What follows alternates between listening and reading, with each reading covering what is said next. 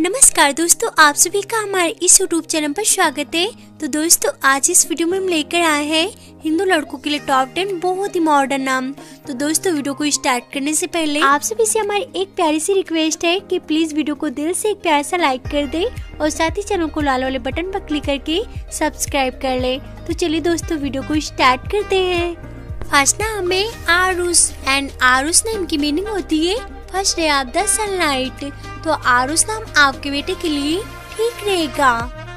Next नाम है Ishan. And Ishan name की मीनिंग होती है लॉर्ड शिवा तो ईशान नाम आप अपने बेटे के लिए चाहे तो ट्राई कर सकते हैं। नेक्स्ट नाम ए लेटर से इस समय का बहुत ही मॉडर्न सा नाम है लच्छित एंड लच्छित नेम की मीनिंग होती है टारगेट अगला नाम मैं लेकर आई हूँ श्रेयस एंड श्रेयस नेम की मीनिंग होती है गुड, यानी कि सबसे अच्छा।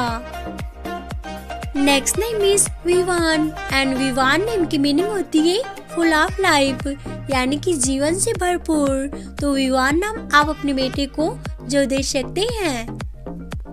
Next name is Advait and Advait name की मीनिंग होती है यूनिक तो अद्वैत नाम बोलने में ए लेटर का बहुत ही आसान और काफ़ी मॉडर्न सा नाम है तो यह नाम अगर आप चाहें तो आप अपने बेटे को दे सकते हैं।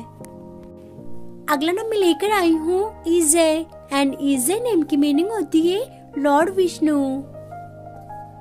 next name is Nikhil and Nikhil name की मीनिंग होती है यूनिक अगला नाम मैं लेकर आई हूँ तनय एंड तनय नेम की मीनिंग होती है सन यानी कि पुत्र। तो तनय नाम आप अपने बेटे को चाहे तो दे सकते हैं। तो दोस्तों, ये थी हमारी आज की वीडियो। वीडियो में बताए गए नेम्स आपको कैसे लगे हमें नीचे कमेंट बॉक्स में कमेंट करके ज़रूर बताएँ। और साथ ही वीडियो को लाइक शेयर और चैनल को सब्सक्राइब भी कर लें।